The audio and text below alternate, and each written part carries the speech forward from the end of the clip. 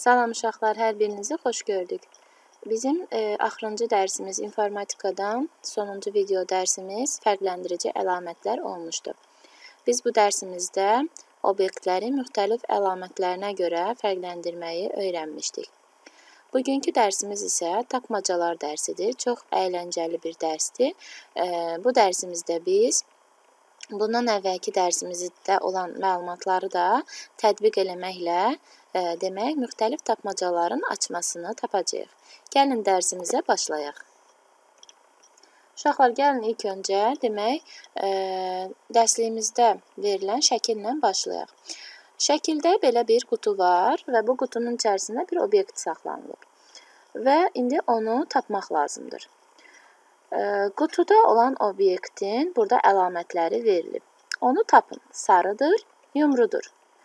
Ə, uşaqlar fikirləşirlər, sarı və yumru nə ola bilər? Hərəsinin ağlına bir ə, e, obyekt gəlir. Ə, baxın, ə, hər biri dairəvi formalıdır, düzdürmü? Şar, top, saat, günəş. Ə, bunların dördü də sarı rəngdə ola bilər.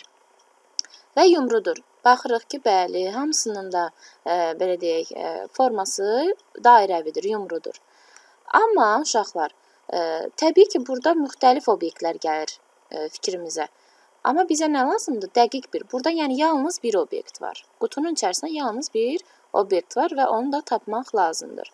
İndi belə bir sual çıxır ortaya. Bəs bu oğlan ayrıca nə deməlidir ki, düzgün cavab olsun? Məsələn, deyək ki, burada e, şar obyekti var. Deyək ki, şardır burada. Bu, belə bir e, əlamətlərini say sayacağıq. Sarıdır, yumrudur, Uşaqlar onu çox sevir, yüngüldür. Bax görürsüz əlamətləri sayırıq. Demək, bu əlamətləri artırdıqca nə olur? Orada olan əşyanın, e, obyektin düzgün, e, yəni adını tapmış oluruq. Yəni ki, uşaqlar, əvvəlki dərsimizdə də dediyimiz kimi, əlamətlərə görə, yəni bir obyekti təsvir edərkən onun əlamətlərini doğru düzgün demək lazımdır ki, onu tapa bilək. Bax belə uşaqlar. Bax bu şəkildəki kimi, yəni hər zaman bu bizim qarşımıza çıxa bilər. Tutaq ki, bir tapmaca sizə deyilir və bu tapmacanın açması, əlamətlərinə görə bu tapmacanın açması müxtəlif obyektlər ola bilər. Ona görə də, yəni belə deyək, obyektin əlamətlərini hamısını saymaqla doğru olanı tapmaq olar. Məsələn, bax burada belə bir e, şəkil verilib. Belə bir əlamətlər desək bu şəkillər üçün. Dəmirdəndir, mətbəxdə istifadə edilir. Fikirləşirik. Dəmirdən və mətbəxdə istifadə olunan əşya. Ağlımıza çoxlu əşyalar gələ bilər. Çəngəl, bıçaq, qaşıq, tava, nə bilim, qazan və s. Yəni bu çoxdur. Bu əlamətlərə uyğun olan obyektlər, əşyalar çoxdur. Amma əgər biz fikrimizdə tutaq ki, qaşıq tutmuşuq, qaşığın əlamətlərini sayırıq. Deyirik ki, dəmirdəndir, mətbəx əşyasıdır və biraz da onu dəqiqləşdirmək istəsək, bu zaman əlamətə bir dənə də əlaməti artıra bilərik. Onunla şorba yeyirlər.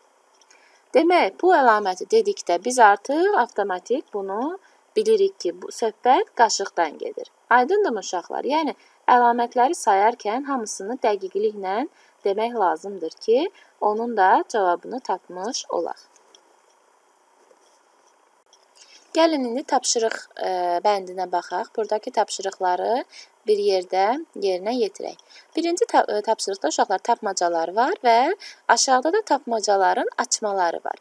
Sadəcə olaraq biz demək, ə, hər bir tapmacanı deyib onun ə, ona uyğun olan ə, demək, obyekti aşağıdakı şəkillərdən seçəcəyik. Gəlin baxaq. Birinci tapşırığımız. Birinci tapmacamız 6 taxta, üstü taxta. Bəy oturub otaqda. Qoyun deyil otlayır, toyuq deyil yumurtlayır. Baxırıq, fikirləşirik, nə ola bilər bu? Hansısa heyvandır, düzdür? Demək, düzgün cavab tısbağa ola bilər. Çünki tısbağanın necədir forması? Eyni ilə burada deyilən əlamətlərə uyğundur. Demək, düzgün cavabımız tısbağadır. Niyə biz düzgün cavab olaraq tısbağa tapdıq? Çünki bütün demək olar ki, bu tapmacada onun bütün əlamətləri qeyd olunub. Keçək ikinci tapmacamıza. Qanadı var uçmağa, iynəsi var sancmağa. Sevir işi, zəhməti, odur ki, var hörməti.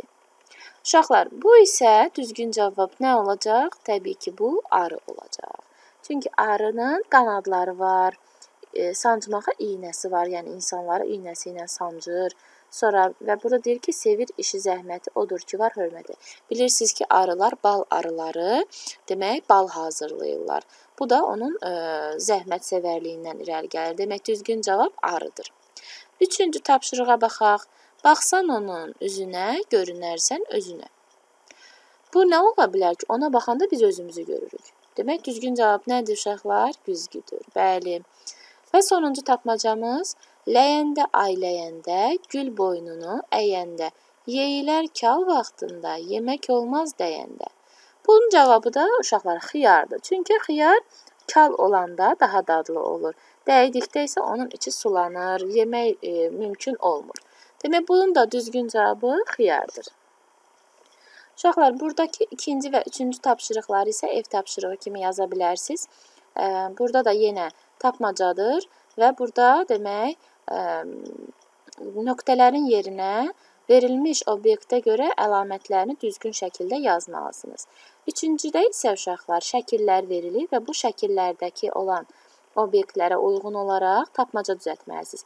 Tapmaca deyəndə, yəni ə, belə deyək, tutaq ki, ev haqqda ə, əlamətlər yazacaqsınız. Yəni o nədir ki, filan şey var, filan ə, necə deyim, ə, filan əlaməti var. Bu haqqda məlumat yazacaqsınız dəftərinizə. Hər üçü haqqında, yəni ev, ə, bulud ə, və canavar haqqında. Belə uşaqlar, bugünkü dərsimiz çox asan və maraqlı dərs idi. Tapmacalar haqqında danışdıq. Tapmacalar demək obyektlərin ə, demək düzgün şəkildə əlamətlərini dəqiqliklə deməklə demək əlam obyekti tapa bilərik. Belə uşaqlar, bugünkü dərsimiz də bu qədər. Gələn dərslərimizdə görüşənədək sağ olun.